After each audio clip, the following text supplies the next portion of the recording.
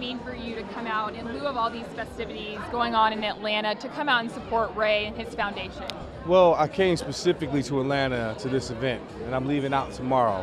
You know, Ray's been a good friend for so many years, competitor of mine. Uh, but you know, I know his heart. I know what he's trying to do. He's trying to change so many lives by uh, his own personal story, his own personal struggles, uh, how he's made it through adversity, and I can attest to that on so many levels. And I'm here to support. Now, this foundation is based on personalized messages that are being sent out to people that are going through tough stuff. For you in your career, what's the best message you got when you were going through something tough? Pray.